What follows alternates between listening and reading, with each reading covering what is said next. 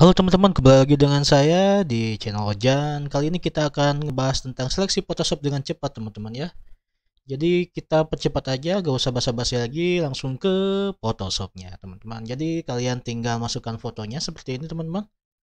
Lalu kalian pilih tools ini. Namanya apa ini ya? Rect rectangu rectangular merge tools tinggal klik. Lalu kalian seleksi yang ingin kalian ini seperti ini mungkin ya. Kita paskan dulu oke. Seperti ini lalu kalian masuk ke select and mask yang ini ya yang di atas ini. Tinggal klik.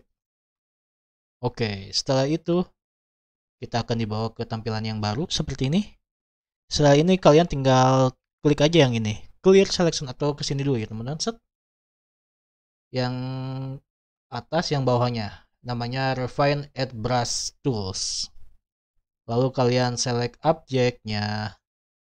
Terus oke. Okay. dan lihat hasilnya seperti apa? Deng deng deng deng kalau misalnya kurang yakin bersih atau apanya kalian tinggal refine higher oke. Okay. cuman kalau misalnya refine higher terlalu berlebihan jadi kita control Z segini juga udah enak dilihat ya kalian tinggal ke pencet OK.